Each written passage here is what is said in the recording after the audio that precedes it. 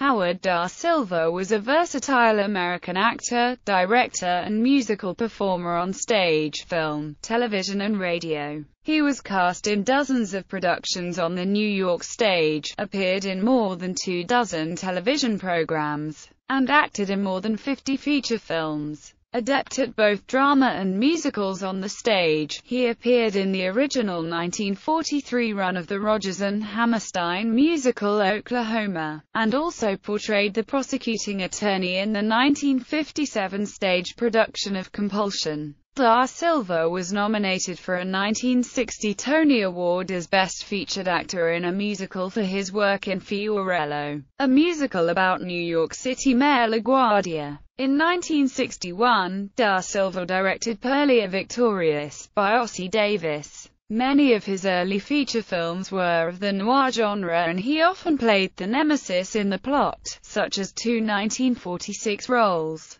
that of Eddie Harwood in The Blue Dahlia, and the sadistic Captain Francis Thompson in Two Years Before the Mast. Da Silva's characterization of historic figures are among some of his most notable work. He was Lincoln's brawling friend Jack Armstrong in both play and film versions of Abe Lincoln in Illinois written by Robert Sherwood. Benjamin Franklin in the 1969-1972 stage musical 1776 and a reprisal of the role for the 1972 film version of the production, Soviet leader Nikita Khrushchev. In The Missiles of October in 1974, William M. Boss, Tweed The American Parade, Stop Thief, Franklin D. Roosevelt in The Private Files of J. Edgar Hoover in 1977, and Louis B. Mayer in Mommie Dearest in 1981. His American television character work included the defense attorney representing the robot in 1965, The Outer Limits 1964 episode, I, Robot,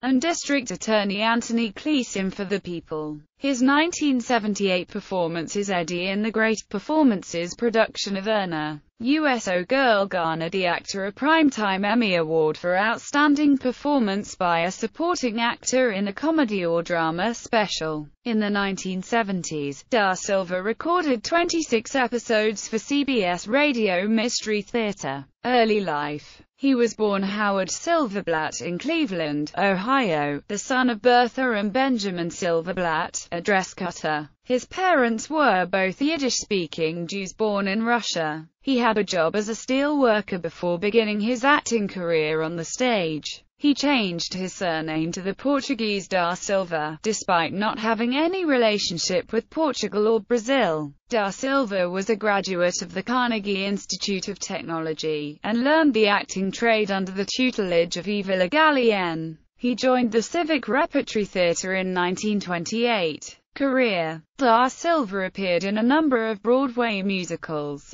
including the role of Larry Foreman in the legendary first production of Marc Blitzstein's musical, The Cradle Will Rock. Later, he co-starred in the original 1943 stage production of Rodgers and Hammerstein's Oklahoma, playing the role of the psychopathic Jud Fry. He was the easygoing Ben Marino who opposed Tammany Hall in the Pulitzer-winning musical Fiorello. In 1969, Da Silva originated the role of Benjamin Franklin in the musical 1776. Four days before the show opened on Broadway, he suffered a minor heart attack, but refused to seek medical assistance because he wanted to make sure critics saw his performance. After the four official critic performances were over, the cast left to go to the cast party and Da Silva went to the hospital and immediately took a leave of absence from the production. While Da Silva recuperated, his understudy, Rex Everhart, took over the role and performed on the cast recording.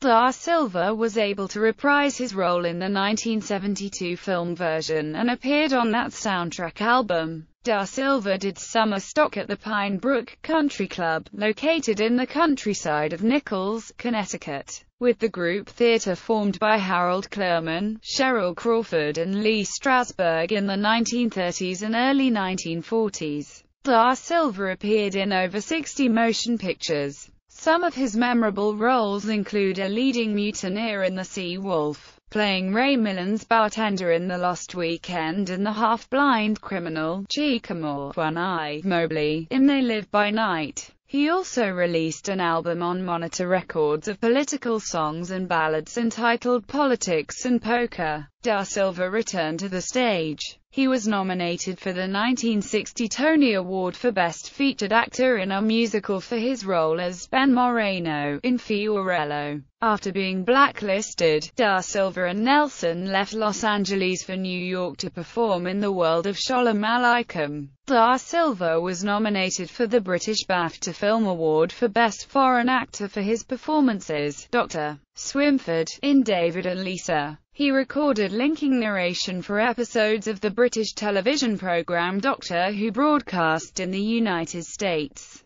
Da Silva portrayed Soviet Premier Khrushchev in the 1974 television docudrama The Missiles of October. He won the Emmy Award for Outstanding Performance by a Supporting Actor in a Comedy or Drama Special for his role as Eddie in Verna. USO Girl with Sissy Spacek. Da Silva's TV guest appearances, after the era in which blacklisting was strongest, include such programs as The Outer Limits, Ben Casey, The Man from U.N.C.L.E., The Fugitive, Gentle Ben, Mannix, Love, American Style, Kung Fu, and Archie Bunker's Place. Da Silva also played President Franklin D. Roosevelt in The Private Files of J. Edgar Hoover, Hollywood mogul Louis B. Mayer in Mommie Dearest, and American statesman Benjamin Franklin in 1776 as well as a documentary depicting the life of Ben Franklin shown at Franklin's house in Philadelphia.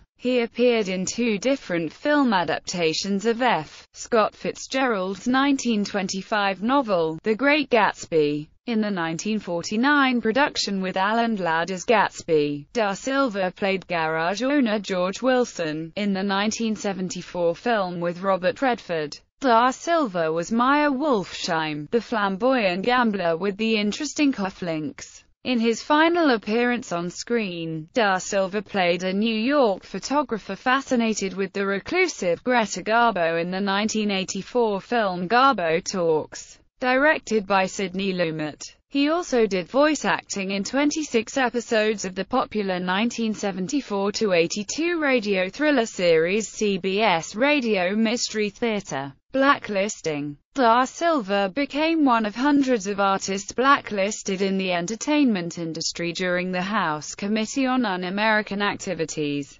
investigation into alleged communist influence in the industry. Following his March 1951 testimony in which he repeatedly invoked his Fifth Amendment rights, his lead performance in the completed feature film Slaughter Trail was reshot with actor Brian Donlevy. Da Silva continued to find work on the New York stage, but did not work in feature films again until 1961 when he appeared in his BAFTA-nominated performance in David and Lisa. He was eventually cleared of any charges in 1960, but not before his career in television had also stalled, with no work between 1951 and 1959 when he appeared in the Play of the Week. The brief respite was followed by another television career void until his appearance in a 1963 episode of The Defenders. That was the beginning of the end of Da Silva's blacklist, and the show's producer Herb Brodkin